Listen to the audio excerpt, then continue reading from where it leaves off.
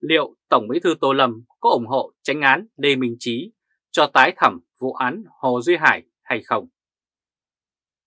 Đúng như Thời báo chấm đã đưa tin vào ngày 28 tháng 8, Thủ tướng Phạm Minh Chính đã ký quyết định phân công ông Nguyễn Hòa Bình giữ chức vụ Phó Thủ tướng Thường trực. Theo đó, ông Bình đã thay mặt Thủ tướng chỉ đạo thực hiện các công việc của chính phủ khi Thủ tướng vắng mặt. Ông Nguyễn Hòa Bình là một lãnh đạo nhiều tai tiếng. Cái tên Nguyễn Hòa Bình luôn là tâm điểm, là một từ khóa hốt trên mạng xã hội. Nhìn chung, dư luận xã hội Việt Nam không thân thiện với ông Nguyễn Hòa Bình vì nhiều lý do khác nhau. Tránh án Nguyễn Hòa Bình bị nhiều người chỉ trích vì hệ thống tòa án dưới tay ông đã xét xử quá nhiều án oan sai. Nhưng nguyên nhân khiến ông bị chỉ trích nặng nề nhất có lẽ là sự vô trách nhiệm của ông trong phiên giám đốc thẩm vụ án Hồ Duy Hải. Ông Bình trên cương vị Chủ tịch Hội đồng Thẩm phán Tòa Nhân dân tối cao đã thừa nhận dù quá trình điều tra xét xử có một số thiếu sót, tuy nhiên ông lại cho rằng điều đó không làm thay đổi bản chất vụ án. Vì vậy đã y án tử hình với Hồ Duy Hải. Kết quả này đã khiến ông không chỉ gia đình tử tù Hồ Duy Hải, các luật sư tham gia mà cả người dân theo dõi đều rất thất vọng. Sau đó, nhiều tổ chức cá nhân và các đại biểu quốc hội, kể cả lãnh đạo của Ủy ban Tư pháp Quốc hội cũng đã lên tiếng cho rằng cần xem xét lại bản án đối với tử tù Hồ Duy Hải. Với việc thay những vật chứng trực tiếp gây án là con dao và cái thớt bị các điều tra viên sơ ý tiêu hủy bằng những đồ vật được mua ở chợ mang về, mà Tránh án Bình lại cố gắng biện minh là một số thiếu sót thì công luận đã không thể chấp nhận được. Vậy mà Tránh án Bình còn khẳng định điều này không làm thay đổi bản chất vụ án đã khiến cho nhiều người thêm phẫn nộ. Tránh án Bình không hề có ý thức được các sai phạm nguy hiểm khi kết án oan sai bị cáo Hồ Duy Hải, Nguyễn Văn Trưởng, Lê Văn Mạnh giữa nghị trường. Tránh án Bình cũng dõng dạc khẳng định việc xét xử các vụ án hình sự đảm bảo nghiêm minh, đúng người, đúng tội, đúng pháp luật, chưa phát hiện trường hợp nào kết quả an người vô tội. Đó chính là lý do ngay sau khi ông Nguyễn Hòa Bình trở thành Phó Thủ tướng Thường trực, công luận đã hoài nghi đặt câu hỏi tại sao Tổng Bí thư Tô Lâm lại ưu ái và thiên vị với ông cựu tránh án đến như vậy. Sau đại hội đảng lần thứ 13 với hàng loạt các vụ tai tiếng tẩy đình, nhưng thay vì bị bỏ tù thì tranh án Nguyễn Hòa Bình đã bất ngờ trở thành ủy viên Bộ Chính trị. Ông Nguyễn Hòa Bình đã nhận được chức vụ mới trong chính phủ, ghế tranh án Tòa Nhân dân tối cao được chuyển giao cho ông Lê Minh Trí. Sự kiện này đã khiến cho những người quan tâm đến vụ án Hồ Duy Hải có thêm hy vọng.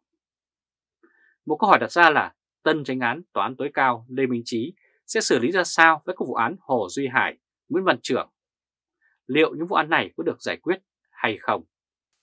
Công luận cho rằng đây là phép thử đối với ông Lê Minh Trí trong cương vị mới. Theo giới luật gia, trên cương vị tranh án Tòa Nhân dân tối cao, ông Lê Minh Trí có đủ thẩm quyền để kích hoạt tái thẩm các vụ án oan này, theo Điều 404 Bộ Luật Tố Tụng Hình sự. Theo đó, ông Trí có quyền yêu cầu Hội đồng thẩm phán xem xét lại quyết định giám đốc thẩm đã bác kháng nghị trước đây, với lý do quyết định trước đây có vi phạm pháp luật nghiêm trọng hoặc phát hiện ra tình tiết quan trọng mới. Tuy nhiên, thẩm quyền quyết định cuối cùng sẽ không thuộc về tân tranh án Lê Minh Trí, mà người quyết định cuối cùng phải là Tổng Bí Thư Tô Lâm. Công luận cho rằng nếu ông Tô Lâm ủng hộ quan điểm của ông Lê Minh Trí về vụ án Hồ Duy Hải thì chắc chắn sẽ giành được sự thiện cảm của số đông công chúng. Đây là điều cần thiết hàng đầu mà Tổng Bí Thư, Chủ tịch nước Tô Lâm nên làm. Quý vị các bạn vừa theo dõi bản tin liệu Tổng Bí Thư Tô Lâm có ủng hộ tranh án Lê Minh Trí cho tái thẩm vụ án Hồ Duy Hải hay không? Quý vị và các bạn chia sẻ video này cho nhiều người biết và bấm nút theo dõi YouTube và Facebook của Thời báo .d để luôn được cập nhật những bản tin mới nhất, nhanh nhất và trung thực nhất. Từ Berlin, Cộng hòa Liên bang Đức chào các bạn và hẹn gặp lại các bạn ở bản tin lần tới. Trung Khoa Thời báo .đề Tổng Bí thư Tô Lâm là một lãnh đạo nguy hiểm và tàn độc hơn Tổng Trọng hay không? Bình luận về tình hình chính trị Việt Nam nói chung và về ông Tổng Bí thư, Chủ tịch nước Tô Lâm nói riêng.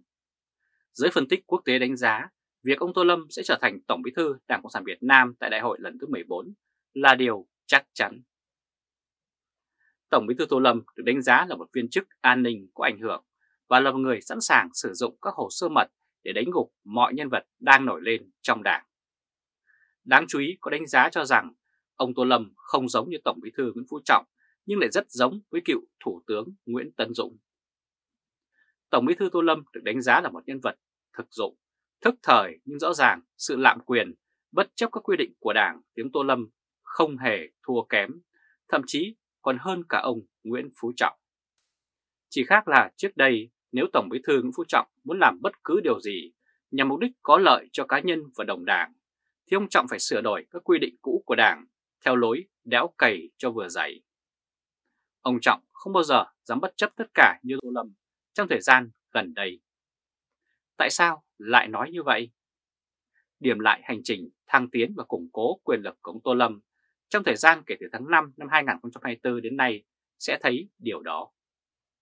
Trước đó trên cương vị Bộ trưởng Bộ Công an, Đại tướng Tô Lâm đã húc đổ các lô cốt cản đường như Võ Văn Thưởng, Vương Đình Huệ hay Trương Thị Mai. Trên danh tính của thuận, thời điểm đó ông Tô Lâm vẫn là kẻ đầu sai, trọng chỉ đâu, Lâm đánh đấy.